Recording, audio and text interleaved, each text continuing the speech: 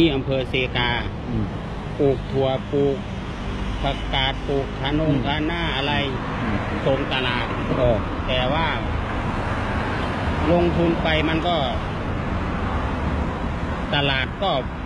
ไม่ใช่ทำเราคนเดียวนะอืมอำเภอมันก็อืมปลูกมันก็ไปเยอะสรุปว่าอืมจะถามว่าจะได้ที่คืนไหม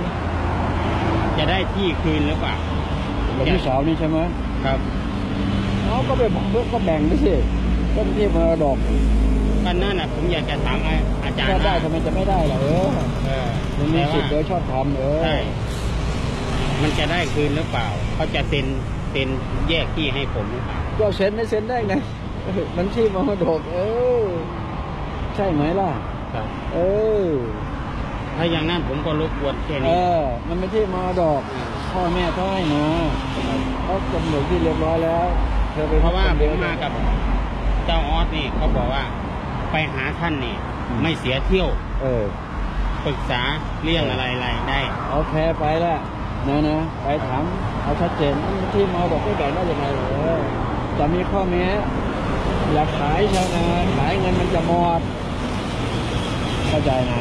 ผมอะในใจผมนี่อยากจะขายเนี่ยแล้วผมจะไปปลูกบ้านอยู่ที่บ้านแม่บ้านนู่น โอ้ยอย่าไปหามันแบบนั้นพอแล้วมันจะเอาเงินอย่างเดียวพอ เออทำตรงนี้แหละอยากขายอยู่กับพี่นั่นแหละปลูกแถวนั่นแหละโยทำกระต๊อบขึ้นมาแค่เอาแค่นอนเท่านั้นเองน่ะทำกินแล้วก็ถึงเวลาเราก็มานอนตรงนั้นน่ะเข้าใจไหมมีแล้วก็ทำกินถึงก็ทำกินไปเรื่อยสามเดือนก็มีผลแล้วปลูกขึ้นล้มลุกเข้าใจไหมขายง่ายจะตายโอ้ยมีน้ำแบบที่ดีน้ำมีน้ำมีท่ามีมีผลแล้ว โอเคนะครับต้องออกแรง ยังมีแรงอยู่ออกแรงทำกินดีกว่า โอ้โห ได้เงินมาเดี๋ยวก็หมดง่ายจะตายเป็นเงิน โอเคนะครับเวลาทำกินก็ทั้งก่อนจะตายจะให้ใครก็ให้ไปไม่ให้ใครก็ขายทีนี้เอาครับตรงไม่เชียวเขาขายถ้าอยากจะขาย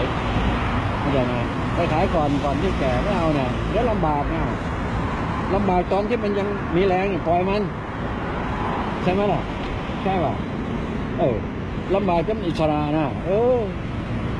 ถ้าอย่างนั้นผมก็ขอนะนะนะ แค่นี้ครับ โอเคไป ไปบอกพี่สาวบอกนะแบ่งไม่ได้มันรอนะไปไม่ดีปลอดภัยกันนะ